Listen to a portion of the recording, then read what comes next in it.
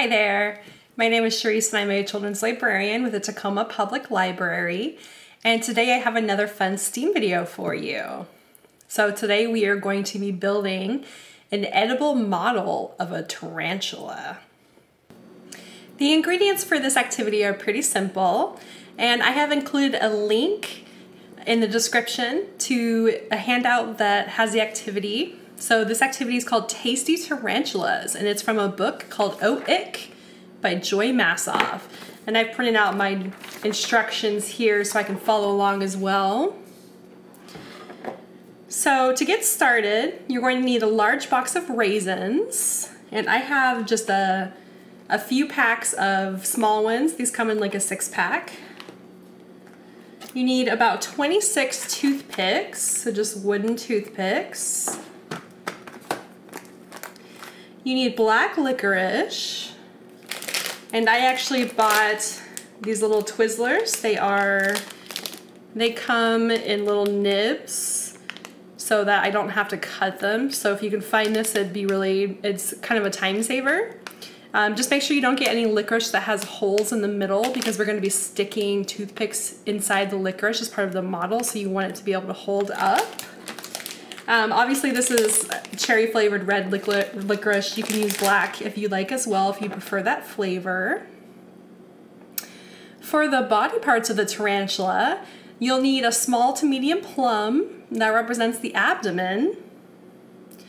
You'll need one large prune or fresh black fig that will represent the chest and one large purple grape to represent the jaw parts.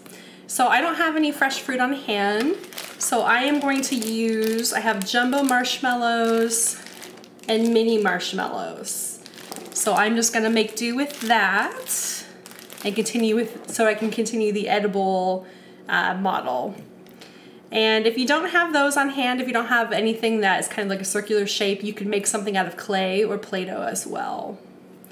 So first things first, we're going to take our toothpick here we're going to thread six raisins onto the toothpick, leaving about half of the toothpick bare.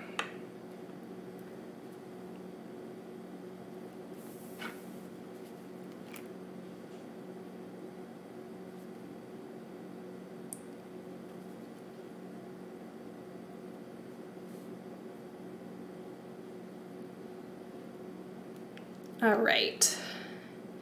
You want to leave about half of the toothpick bare.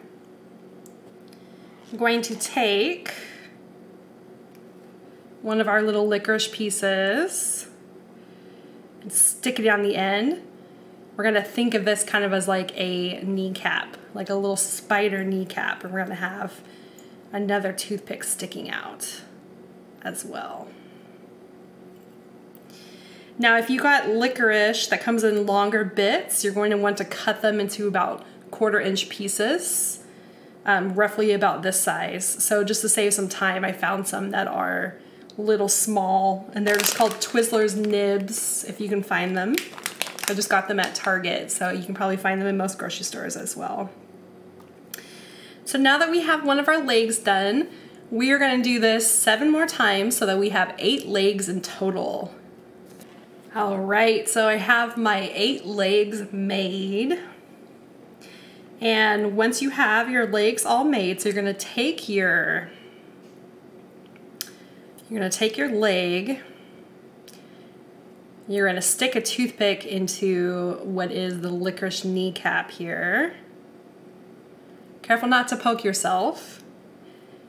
And then you're going to thread raisins onto the whole toothpick and then you're gonna cap it off with another licorice. You're gonna do this with all of your eight legs. All right, so now I have all eight of my legs done, complete with little Twizzler knee joints and a little Twizzler, um, I guess, kind of foot at the end there. So we are going to make the body parts now. This would be step number five. So you're going to attach the plum to the prune or fig by sticking a toothpick partway into the plum and then pushing the exposed part of the toothpick into the prune or fig. So I am going to just use jumbo marshmallows because I don't have fresh prunes or figs or, or plums on hand.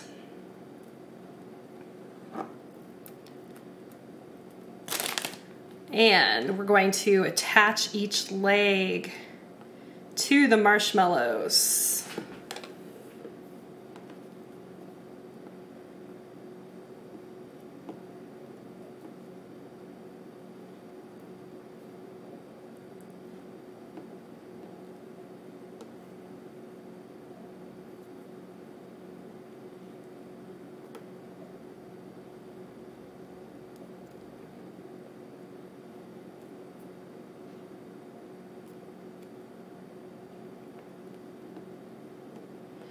And remember they I said they have two body sections and eight legs. And I'm going to use a small marshmallow to represent his jaw.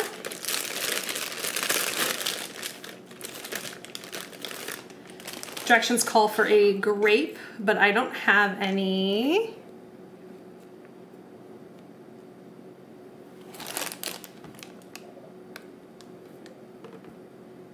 Okay, so I've just stuck a couple marshmallows in there. Next, we're going to make the pedipalps, and those are kind of like little pinchers almost pointing out from the jaw. So we're going to take two toothpicks and put four raisins on them each.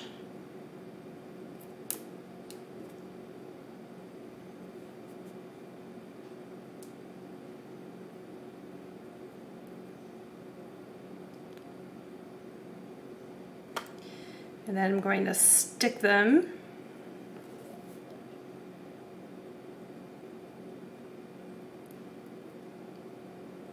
into my jaw at kind of an angle there.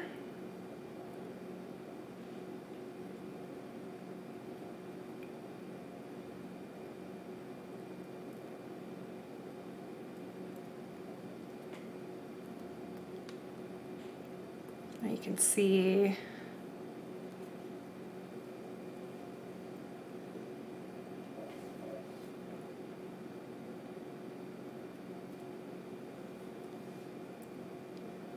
And it almost almost stands up but not fully by itself because the weight of its body I think is too much and its legs can't support it. But that would be another interesting idea as to how to make one that stands up and stays. So the last part we need to make is called the spinnerets. And these are pieces that stick out of the spider's rump. So we're going to take a toothpick and split it in half very carefully. And stick those two pieces in the end. I imagine that probably helps the spider with his directions, knows where he's going. All right, so there we have it. An edible model of a tarantula. And you can see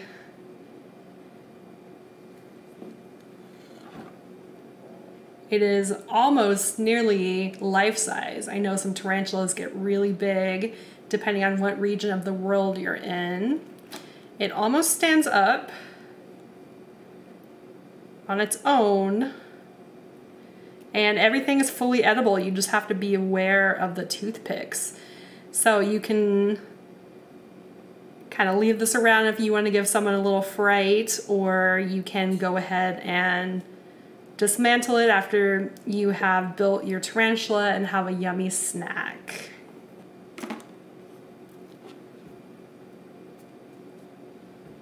So thank you so much for watching this STEAM video and check out the Tacoma Public Library YouTube page for more storytime and STEAM videos. And we also have lots of ebooks and audiobooks. And while you're on our website, check out our summer reading club for children and all ages. Thanks so much.